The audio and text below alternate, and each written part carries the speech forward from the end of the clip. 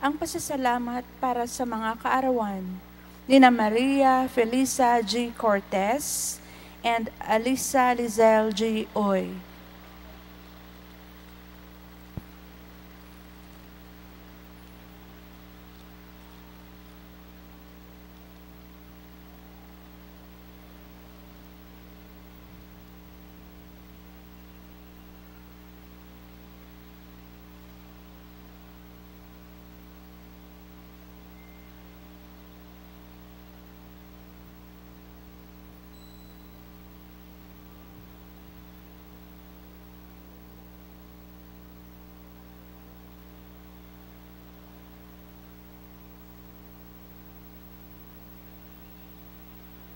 Tayo po munang magsitayo upang dasalin ng Orasio Imperata para proteksyon laban sa COVID-19.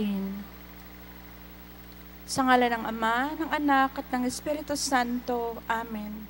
Mahabagin at maawaying Ama, inaamin namin ang aming mga kasalanan at pagkumbabang dumudulog sa iyo upang makatagpo ng pagpapatawad at buhay. Nagsusumamo kami sa iyo upang hilingin ang iyong patnubay laban sa COVID-19 na nagpapahirap sa marami at kumitil na ng mga buhay. Tunghayan mo kami ng may pagmamahal at ipagadya mo kami ng inyong mapaghilom na kamay mula sa takot sa kamatayan at karamdaman. Itaguyod mo kami sa pag-asa at patatagin sa pananampalataya. Gabayan mo ang mga dalubhasang naatasa na tumuklas ng mga lunas at paraan upang ihinto ang paglaganap nito. Pagpalain mo ang aming mga pagsisikap na mawakasan ng mga nalinang nagamot ang pandemya sa aming bayan. Patnubayan mo ang mga lumilingap sa may sakit upang ang kanilang pagkalinga ay malaki pa ng husay at malasakit. Pagkalooban mo po sila ng kalusugan sa isip at katawan, katatagan sa kanilang paninindigang maglingkod, at ipagsanggalang sa karamdaman. Itinataas din namin ang mga nagdurusa. Makamtan nawa nila ang mabuting kalusugan. Lingapin mo rin ang mga kumakalinga sa kanila. Paggamitin mo ng kapayapaang walang hanggan ang mga pumanaw na. Pagkalooban mo kami ng biyaya na magtulong-tulong tungo sa ikabubuti ng lahat, pukawin sa amin ang pagmamalasakit sa mga nangangailangan sa pagdamay at malasakit namin sa bawat isa. Malampasan nawa namin ang krisis na ito at lumago sa kabanalan at pagbabalik loob sa iyo. Hinihiling namin ito sa pamamagitan ng Heso Kristo na nabubuhay at nagaharing kasama mo at ng Espiritu Santo. Diyos, magpasa walang hanggan. Amen. Dumudulog kami sa iyong patnubay, mahal na ina ng Diyos Pakinggan mo ang aming mga kahilingan sa aming pangangailangan at ipagadya mo kami sa lahat ng kasamaan, maluwalhati at pinagpalang berhen. Amen. Mahal na berhen, mapagpagaling sa may sakit, ipanalangin mo kami. San Jose, ipanalangin mo kami. San Rafael Arcangel, panalangin mo kami. San Roque, ipanalangin mo kami. San Lorenzo Ruiz, ipanalangin mo kami. San Pedro Kalungsod, ipanalangin mo kami. Sa ngala ng Ama, ng Anak, at ng Espiritu Santo. Amen. Tayo po munang magsilingkod.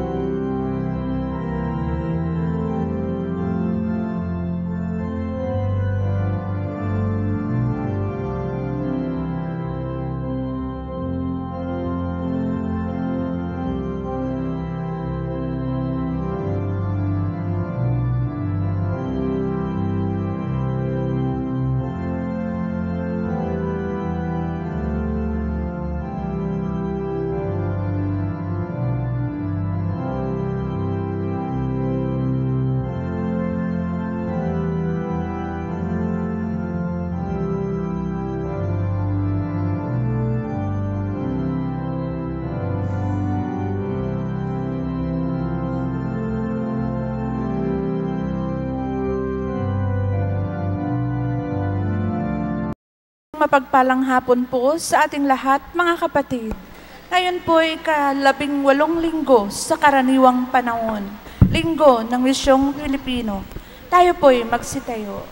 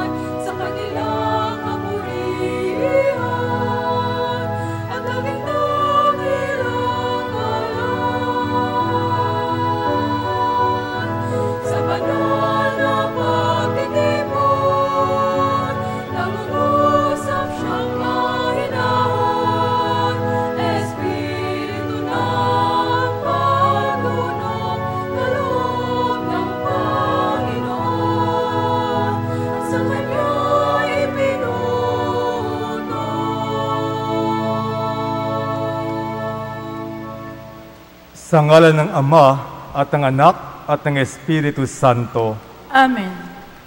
sumainyo ang Panginoon. At sumayo rin. Pinaalalahanan tayo ngayon ni Jesus na hangal ang taong nag-iisip lamang ng pagkamit ng limpak-limpak na kayamanan. Sa mga pagkakataong nasupil na ang ating mga puso ng pagnanasan sa mga material na pag-aari at nawawala na tayo ng pagpapahalaga sa mga mabubuting bagay. Hiling natin sa Diyos na panumbalikin niya ang kadalisayan ng ating puso upang magpatuloy tayong tumanggap sa Kanya. Ipinagdiriwang din natin ngayon ang linggo ng Misyong Pilipino. Makisanawa tayo sa pagpapakilala at pagbabahagi ng salita ng Diyos upang madama ang lahat ang pagmahal na ating Panginoon. Isama rin natin ang mga biktima ng nakaraang lindol sa ating mga panalangin. Mga kapatid, aminin natin ang ating mga kasalanan upang tayo maging marapat gumanap sa banal na pagdiriwang. Inaamin ko sa makapangyarihang Diyos at sa inyo mga kapatid, naluba akong nagkasala sa isip, sa salita at sa gawa at sa aking pagkukulang. Kaya isinasamo ko sa mahal na Birhing Maria, sa lahat ng mga anghel at mga banal, at sa inyo mga kapatid, na ako'y panalangin sa Panginoong ating Diyos. Kawan tayo na makapangyarihan Diyos, patawarin tayo sa ating mga kasalanan at patubayan tayo sa buhay na walang hanggan. Amen.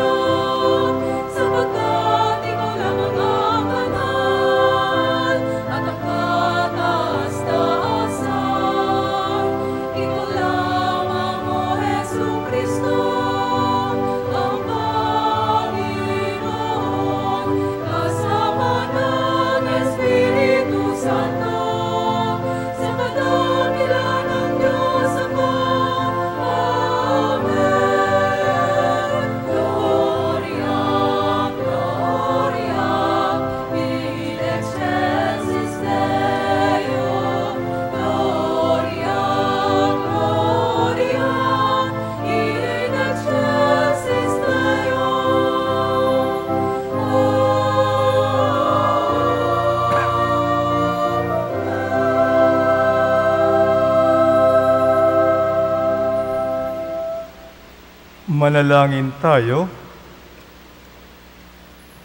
Ama naming makapangyarihan, manatili kang kapili ni sambaynan na iyong laging kinahabagan at pinagbibigyan upang tinampok na iyong pamumuhay at pagsubaybay ay muli mong ikalugod at panatili mong kinululugdan sa pamagitan ni Yeso Kristo kasama ng Espiritu Santo magpasawalang hanggan. Amen.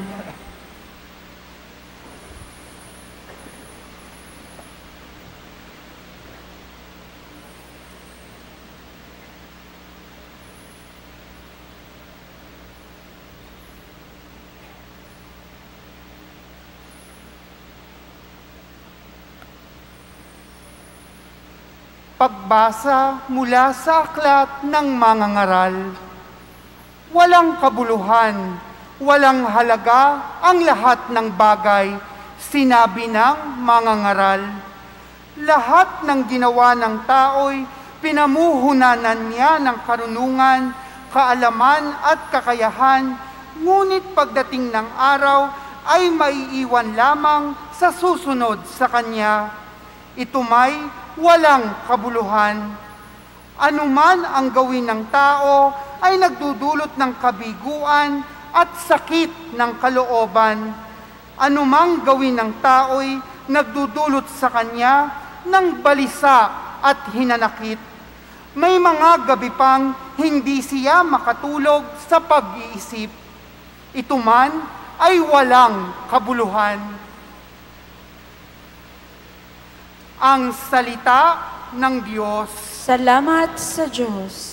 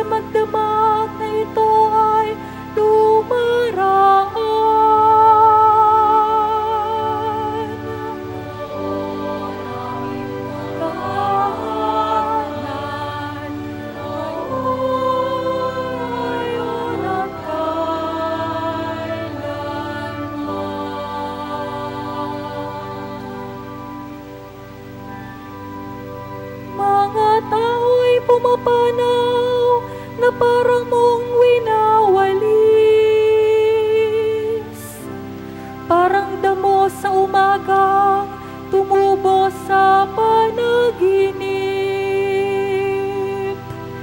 Parang damong tumutubo na may taglay na bulaklak. Kung gumabi nalalantat, bulaklak ay nalalagas.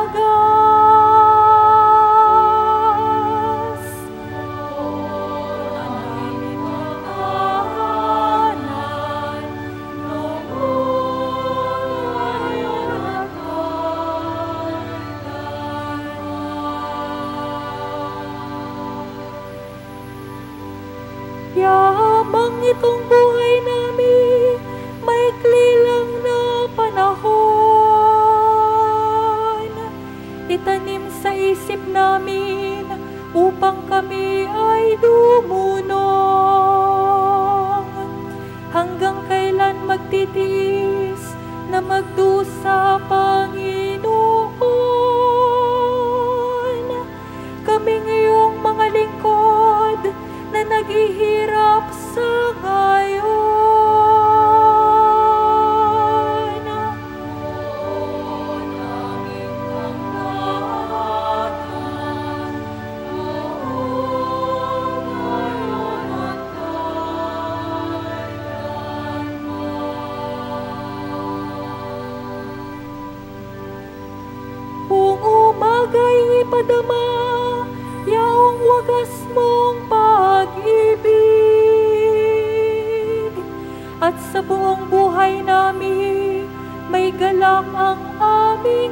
Awit.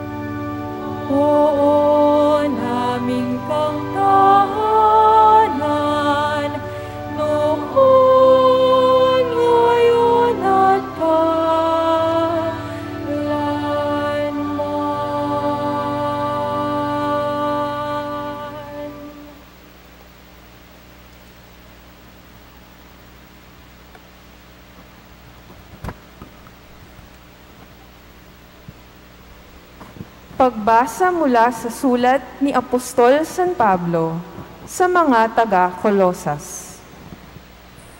Mga kapatid, binuhay kayong muli kasama ni Kristo, kaya't ang pagsumikatan ninyo ay ang mga bagay na nasa langit na kinaroroonan ni Kristo na nakaupo sa kanan ng Diyos.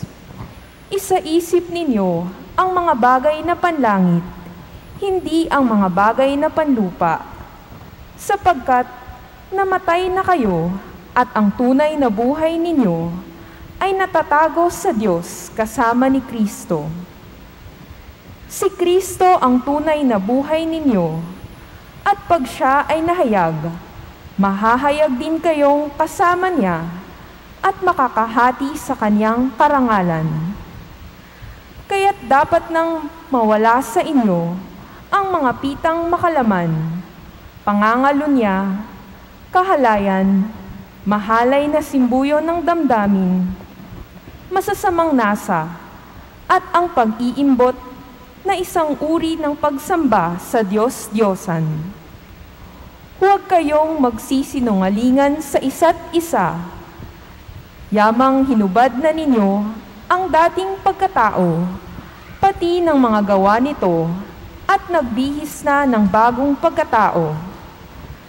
Patuloy itong nagbabago ayon sa larawan ng Diyos na lumikha sa inyo upang maging ganap ang inyong kaalaman tungkol sa Kanya. Kaya't wala ng pagkakaiba ang Griego at ang Hudyo, ang tuli at ang hindi tuli, ang dayuhan at ang mababangis na tao ang alipin at ang malaya. Kay Kristo, walang pagkakaiba ang lahat at siya ay sumasa lahat. Ang salita ng Diyos. Salamat sa Diyos. Tayo po'y magsitayo.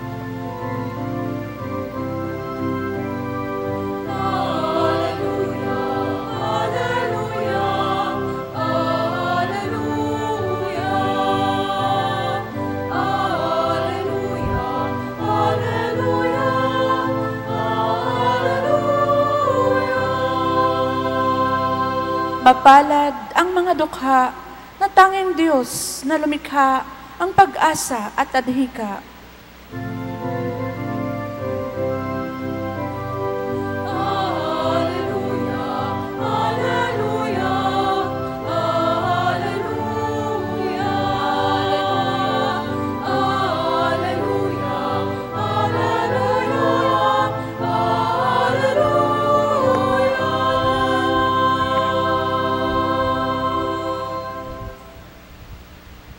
Sumainyo ang Panginoon, At sumainyo rin. ang mabuting balita ng Panginoon ayon kay San Lucas. Papuri sa iyo, Panginoon. Noong panong iyon, sinabi kay Jesus ng isa sa mga tao, Guro, iutos nga po ninyo sa kapatid ko na ibigay sa akin ang bahagi ko sa aming mana. Sumagot siya, Ginoo, sino naglagay sa akin bilang hukom o tagapaghati ng mana ninyo? At sinabi niya sa kanilang lahat, Mag-ingat kayo sa lahat ng uri ng kasakiman. Sapagkat ang buhay ng tao ay wala sa laki ng kayamanan. At pagkatapos ay isinaysay ni Jesus ang talinghagang ito. Ang bukirin ni isang mayaman ay umani ng sagana. Kaya't sinabi niya sa kanyang sarili, Ano ang gagawin ko? wala na akong paglagyan ng aking ani. Ah, gigibain ko ang aking mga kamalig at magtatayo ako ng lalong mas malaki. Doon ko ilalagay ang aking ani at ari-arian at sasabihin ko sa aking sarili, Ayan, marami na akong ari-arian. Hindi na ako kukulangin habang buhay. Kaya't mamahinga na lamang ako, kakain, iinom, at nagsasaya. Ngunit sinabi sa kanya ng Diyos, Hangal, sa gabing ito'y babawian ka ng buhay. Kanino mapupunta ang mga bagay na inihanda mo? Ganyan ang sasapitin na nagtitipon ng kayamanan para sa sarili. Ngunit dukha naman sa paningin ng Diyos. Ang mabuting balita ng Panginoon. Pinupuri ka namin, Panginoong Heso Kristo.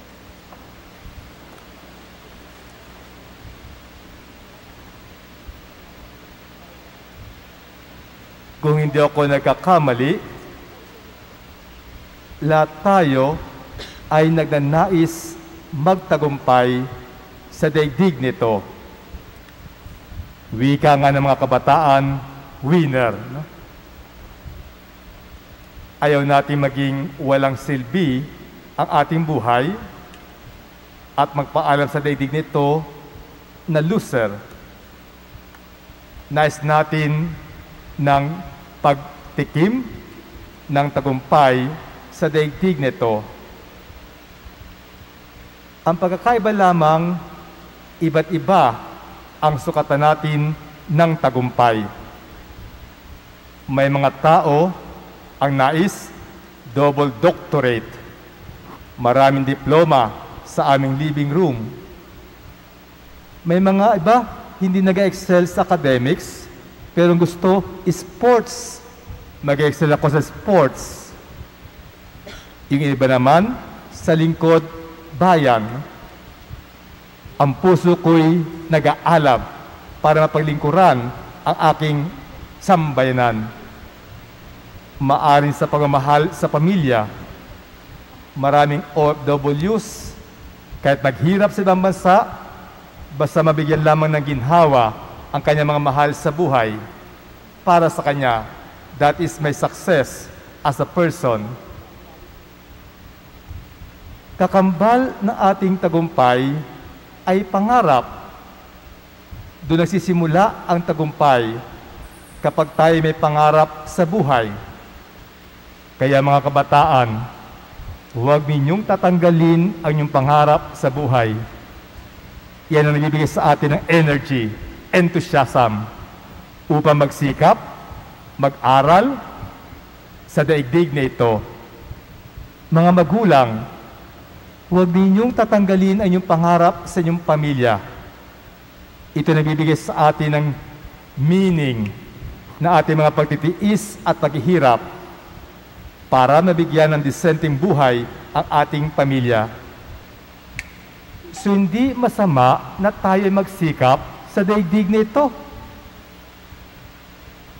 Pero may babala si Jesus sa Ebanghelyo. Sabi ni Jesus, mag-ingat kayo sa lahat ng uri ng kasakiman. Babala ni Jesus ng ating pangarap, yun na lamang. Gusto kong maglingkod dayan kahit nandaya ako sa butuhan. Gusto kong yumaman at maraming savings sa bangko kahit lokohin ko at maging kurap sa paglilingkod ko sa aking kapwa. Kaya hindi masama ang mangarap. Hindi masama ang magsikap. May babala lamang si Jesus. Mag-ingat kayo sa lahat ng uri ng kasakiman habang tinutupad natin ang ating pangarap at ninas natin magtagumpay sa daigdig nito. Para ba sinasabi ni Jesus, hindi masama na tayo ay magtagumpay. Hindi masama na tayo ay mangarap. Huwag lang natin buburahin sa ating pagsikap ang pangarap ng Diyos sa atin. Kung tayo may sariling pangarap, ang Diyos may pangarap din sa atin. Ang makapiling tayong lahat sa kanyang tahanan, makapiling tayong lahat sa langit. So sa ating pagsumikap sa daigdig nito, huwag nating tatanggalin ang pangarap ng Diyos habang tayo nagsisikap sa daigdig nito. Huwag nating tatanggalin ang spiritual values na itinuro ni Jesus habang naglalakbay tayo upang marating natin ang lugar ng ating tagumpay. Hindi masama ang maging mag-retire na may ari-arian basta pinagpawisan mo. Wala kang tinapakang ibang tao. Hindi masama na tayo maluklok sa isang posisyon sa simbahan o pamalaan. Basta ito'y honest na paglalakbay patungo sa pwesto na ating minimithit pinapangarap. Mag-ingat kayo sa lahat ng uri ng kasakiman. Ang gustong ipalala sa atin ni Kristo, habang tayo nagtutupad ng ating pangarap, yung greed, yung selfishness, yung pagkagahaman, yung kasakiman. Minsan, sa isang reunion, may tatlong dating magbabarkada, nag-sharing. Siyempre, after 25 years, ang iba ay kumita na, ang iba ay may pera na rin. Sabi ng isa, paano mo binabahagi ang iyong pera? Nagbibigay ka ba sa Diyos at sa kapwa? Sabi ng isa, ganito ang aking ginagawa na pagbabahagi ng aking pera.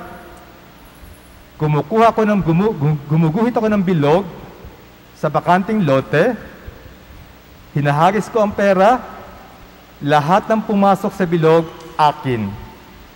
Lahat na lumabas sa bilog, ay para sa Diyos at para sa aking kapwa.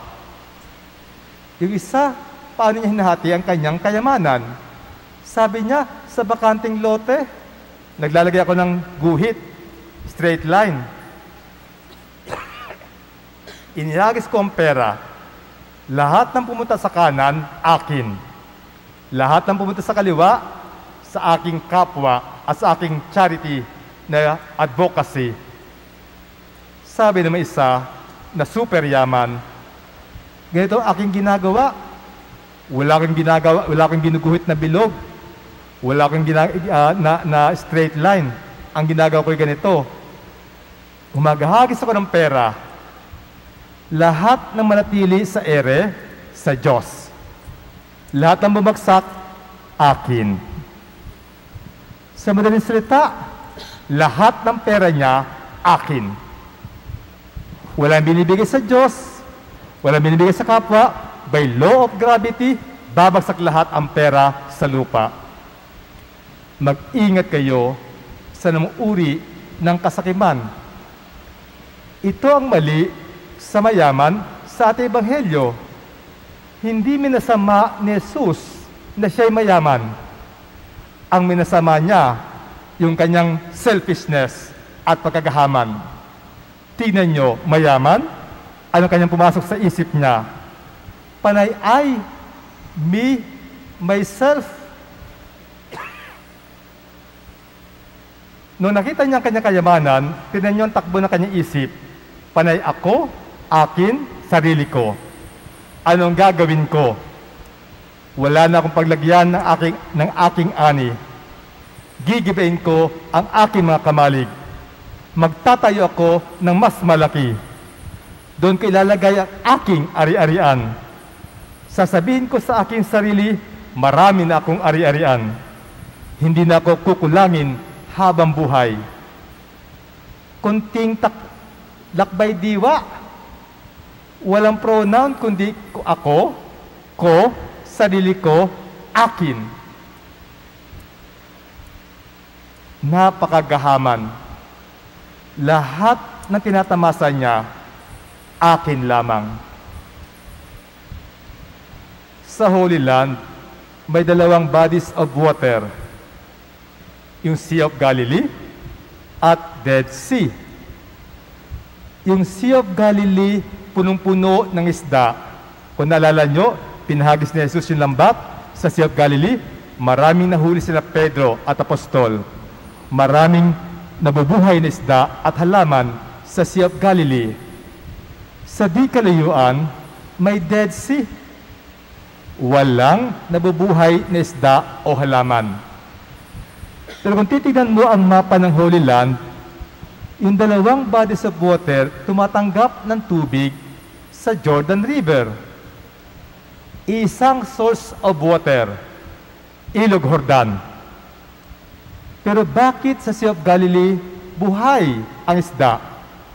Sa Dead Sea, walang nabubuhay na living things. Bakit? So, ang Sea of Galilee, kumukuha ng tubig sa Jordan River, sinasalo niya, pero meron din siya mga munting lagusan ng tubig at nagbibigay ng tubig sa iba pang bodies of water. Kaya kanyang tubig laging fresh. Buhay ang isda at mga halaman. Pwede kang manghuli ng maraming isda.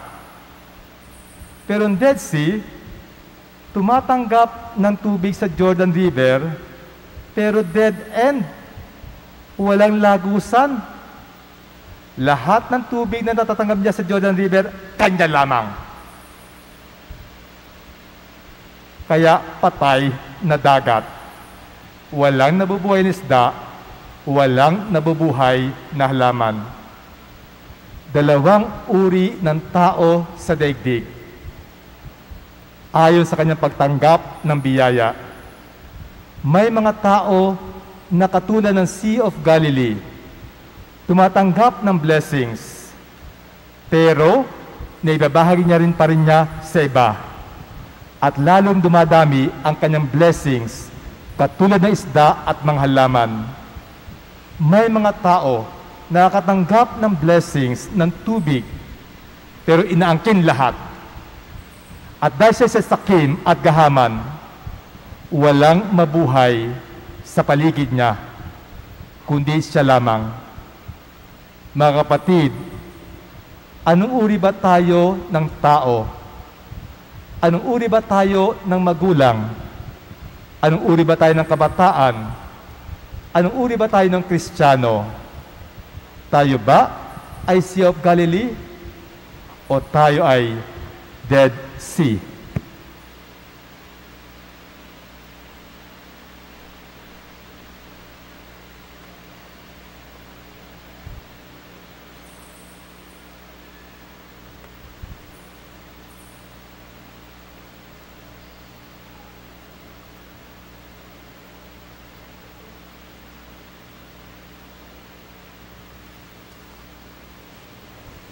Sumasampalataya ako Sa Diyos, amang makapangyarihan sa lahat, na may gawa ng langit at lupa.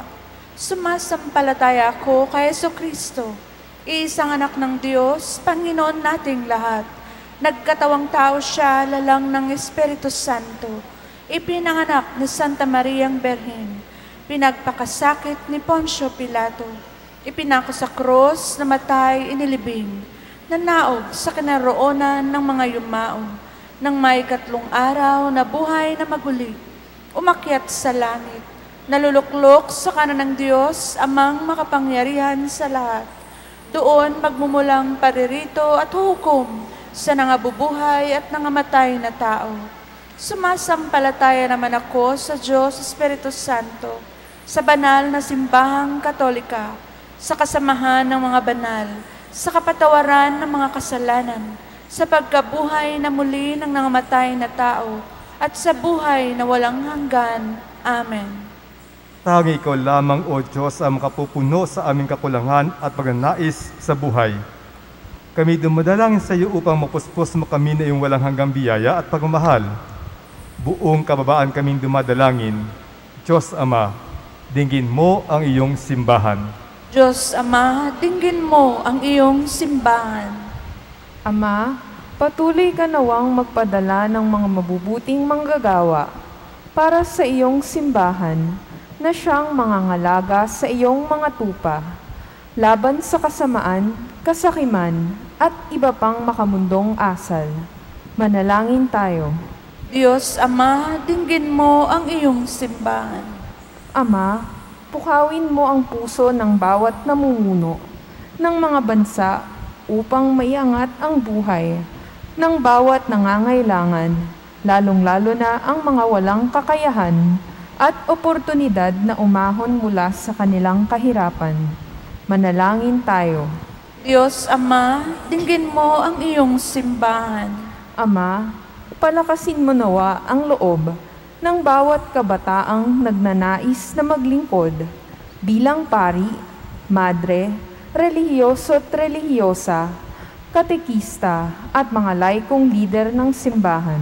Manalangin tayo. Diyos Ama, dinggin mo ang iyong simbahan. Ama, mapagtanto nawa ng mga sakim at ganit sa luho ng mundo na ang tunay na kayamanang hindi mananakaw, maglalaho at mapapawi ay matatamasa lamang sa iyong kaharian. Manalangin tayo. Diyos Ama, dinggin mo ang iyong simbahan. Ama, salubungin mong may galak ang mga kapatid naming pumanaw, lalong-lalo na yaong mga taus-pusong naglingkod at tumulong sa kanilang kapwa sa abot ng kanilang kakayahan. Manalangin tayo. Diyos Ama, dinggin mo ang iyong simbahan. Sa ilang sandali ng katahimikan, itaas natin sa Diyos ang ating personal na kahilingan, gayon din ang mga taong lubos na nangangailangan ng ating panalangin.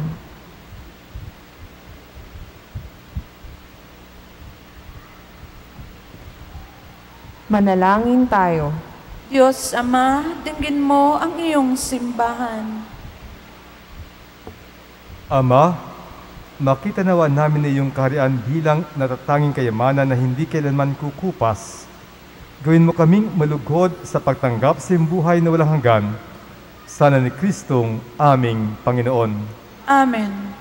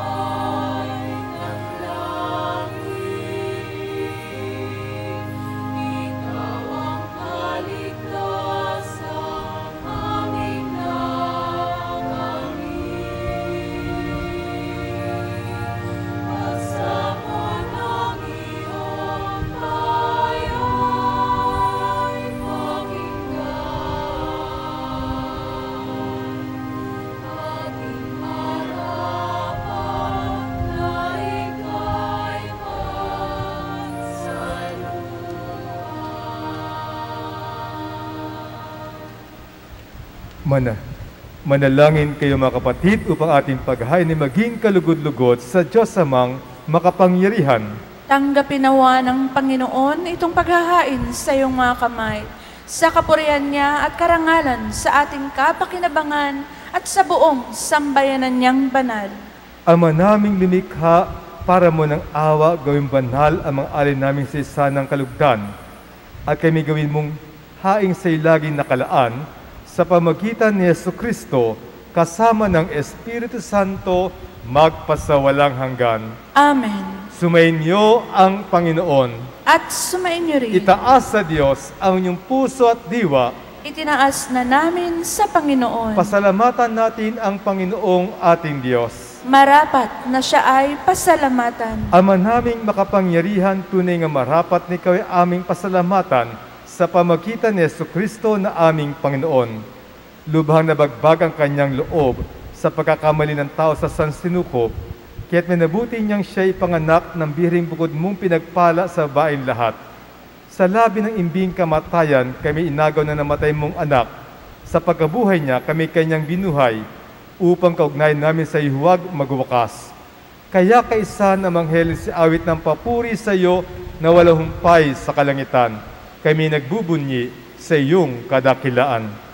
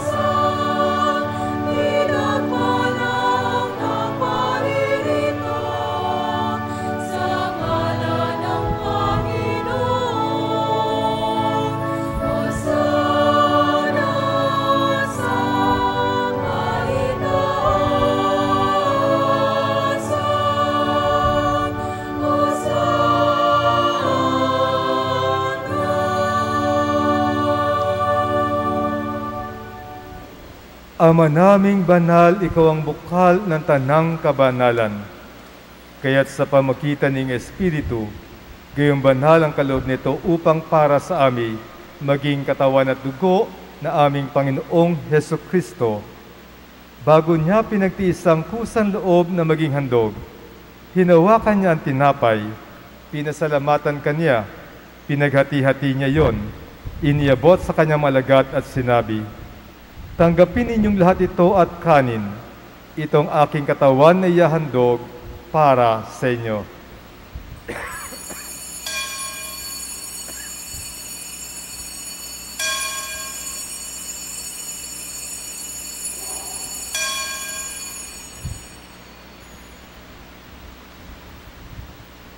Gayun din naman nung matapos sa ngapunan, hinawakan niya ang kalis, muli kaniyang pinasalamatan. Iniabot niya ang kalis sa kanyang mga lagad at sinabi, Tanggapin ninyong lahat ito at inumin. Ito ang kalis ng aking dugo ng bago at walang hanggang tipan. Ang aking dugo ni bubuhos para sa inyo at para sa lahat sa kapagpapatawad ng makasalanan. Gawin ninyo ito sa pag-alaala sa akin.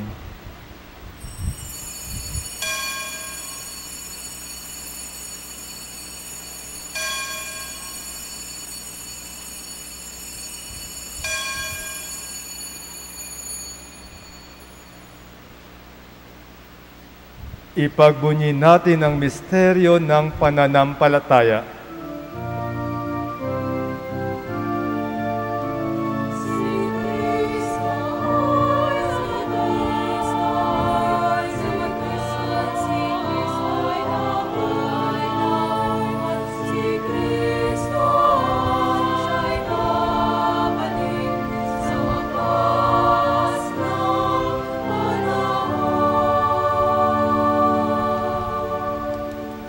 Ama, ginagawa namin ngayon ang pag-alaala sa pagkamatay at muling pagkabuhay ng anak.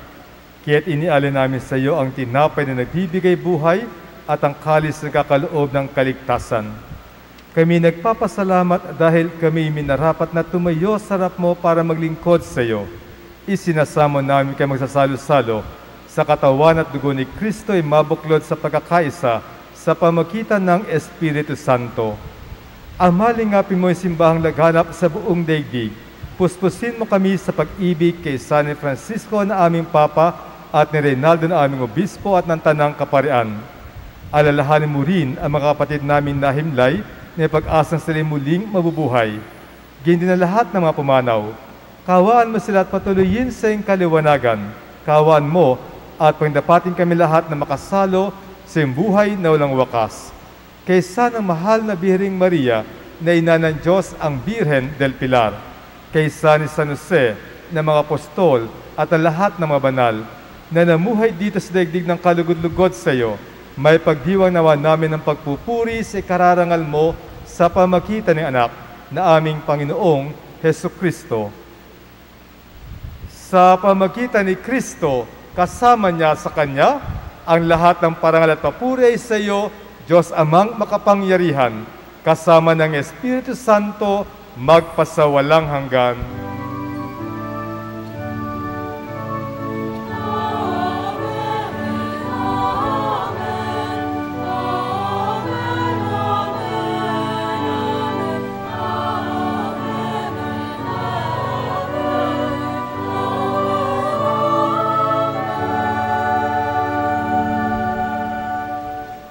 At bilang isang pamilya ng Diyos, sama-sama tayong tumawag sa ating iisang Ama.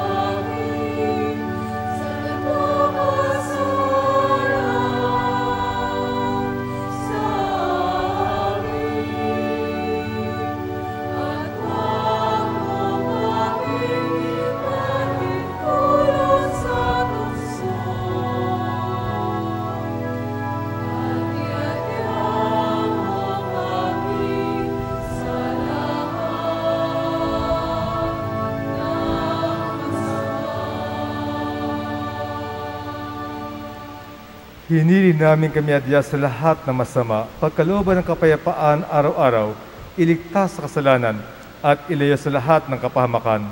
Samantalang aming pinananadikan ang dakilang araw ng pagpapahayag ng tagapagtas naming Seso Kristo.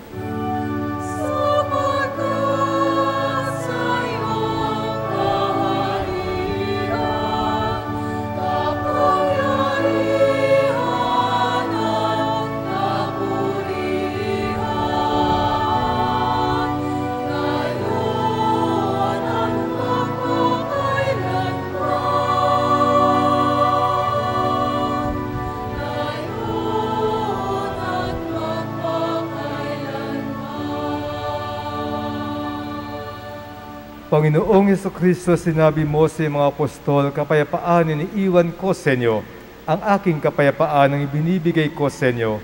Tunghayan mo ang aming pananampalataya at huwag ang aming pagkakasala. Pagkalooban mo kami ng kapayapaan at pagkakaisa ayon sa iyong kalooban, kasama ng Espiritu Santo, magpasawalang hanggan.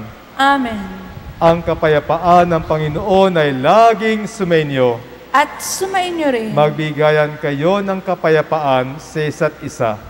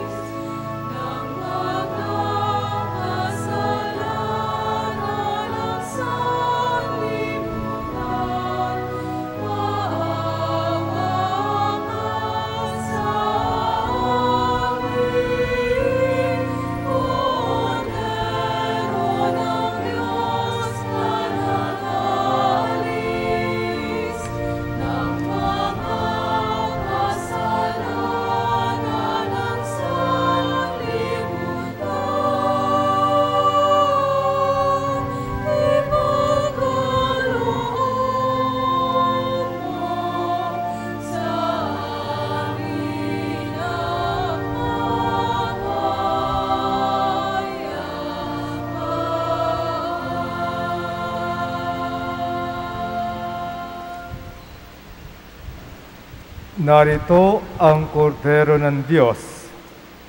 Siya si Jesus. Ipinakaloob ang lahat para sa kabutihan ng kapwa at ikaluluhati ng pangalan ng Diyos. Mapalad ang tinatawag sa piging ng kordero. Panginoon, hindi ako karapat-dapat na magpatuloy sa iyo. Ngunit sa isang salita mo lamang ay gagaling na ako.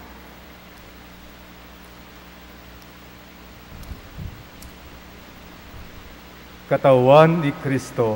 Amen.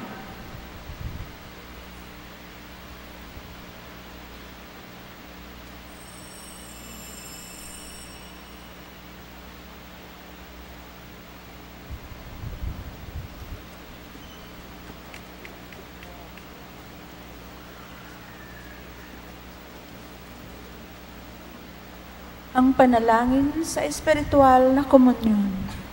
Panginoong Hesus, ako ay naniniwala na ikaw ay nasa kabanal-banalang sakramento. Iniibig kita ng higit sa lahat at ninanasa kong tanggapin ka sa aking kaluluwa. Sapagkat sa mga sandaling ito, hindi kita matatanggap sa sakramento. Tumuloy ka sa Espiritu sa aking puso. Niyayakap kita na parabang naririto ka na at iniaalay ko ng buong buo ang aking sarili sa iyo. Huwag mong hayaang mawalay ako sa iyo. Amen.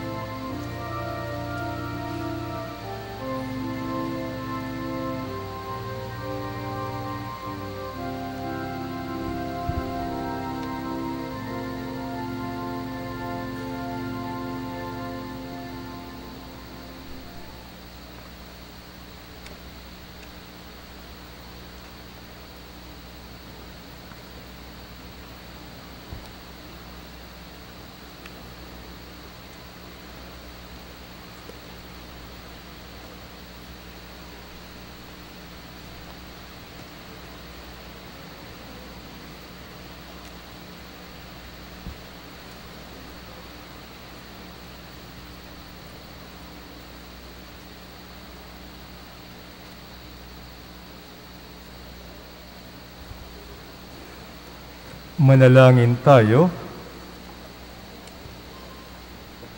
Ama naming mapagmahal, kami pinapagsala mo sa banal na pagkinabang ayon tuwangan sa ginagawa namin sa araw-araw upang kami hindi mo pinagkakaita ng pagsubaybay ay gawin mong maging marapat sa lubos na kaligtasan sa pamagitan ni Yeso Kristo kasama ng Espiritu Santo magpasawalang hanggan.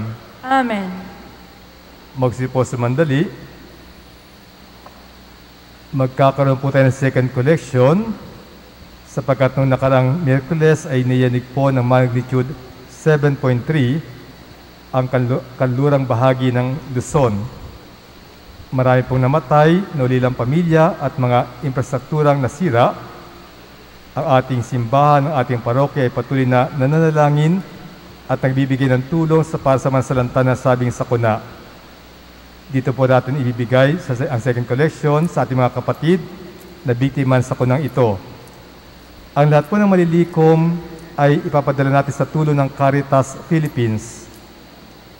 Maraming salamat po at patuloy nating ipagdasal ang kapwa nating mga Pilipino na nasalanta.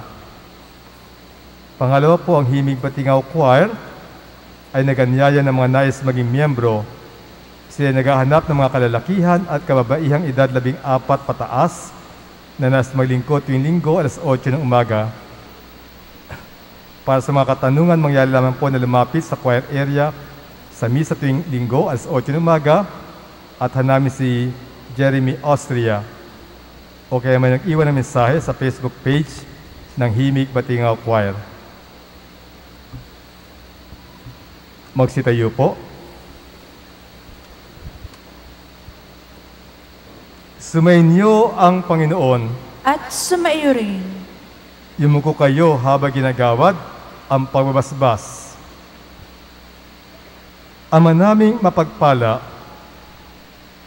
pagpalain mo na iyong mga kaloob buhat sa langit ang iyong sambayanan at pamaligid mong sumunod sa iyong kalooban sa pamagitan ni Yesu Kristo kasama ng Espiritu Santo magpasawalang hanggan.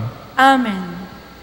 At pagpalain kay lahat ng dakilang Diyos, Ama at Anak at Espiritu Santo, Amen. humayo kayo na taglay ang mga kayamanan sa langit. Salamat sa Diyos.